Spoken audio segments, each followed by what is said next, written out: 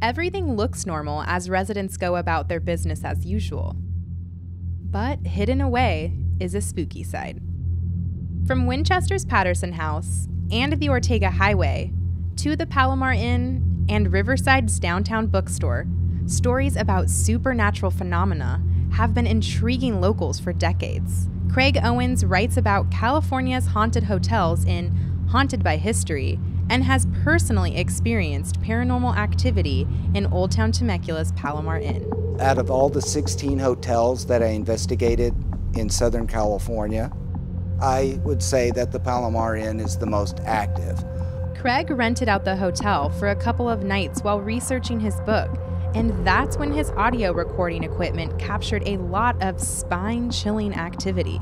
There were voices throughout the night, and one of the ones that creeped me out was that I was about to take my last cigarette break for the night, locked up my room, and as I was walking down the stairs, this big, deep male voice said, but it's weird because I felt like I was being the one that was watched. Here I am looking for ghosts and and this voice seems to indicate that whatever was there was actually watching and actually recognizing my behavior patterns.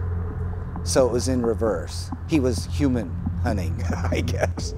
He also captured a ghostly image while staging 1930s era photos for his book's illustrations. I was trying to get this one shot, and I had a model on the stairs with a fake Tommy gun pointing it up, flipping through these photos, and in one of the frames, only in one, there is this shadowy figure I, but I was um, hard pressed to explain how that could not have been non paranormal.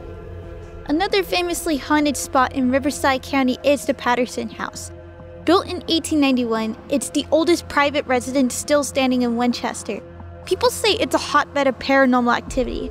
Professional ghost hunters have filmed orbs and recorded eerie voices here. Early on, before we actually had the house, some people had come into the house and decided that they wanted to spend the night here. One of the things, that, the phenomenons that they found at that time was something bouncing down the stairs. When they came out, there was nothing there. Since then, of course, we've had multiple paranormal groups in here. And like I said, the list goes on and on. The piano plays by itself. Upstairs, the spinning wheel will spin in one direction and then backwards. We have the feeling that all the energy is positive. They're friendly as long as you do not challenge them. The Ortega Highway connects Riverside and Orange County. It is one of our country's most dangerous highways and has earned a reputation for being haunted by unearthly beings. Many have claimed to see a clown on the side of the road while driving the highway late at night. Probably the most haunted location in Riverside County is the Mission Inn, an expansive resort built in 1878 and situated right in the city of Riverside. It is said to be haunted by the original owner's children, Frank and Alice Miller, who both died tragically. Guests have reported being touched or pushed, seeing phantom blue lights, and hearing Alice singing.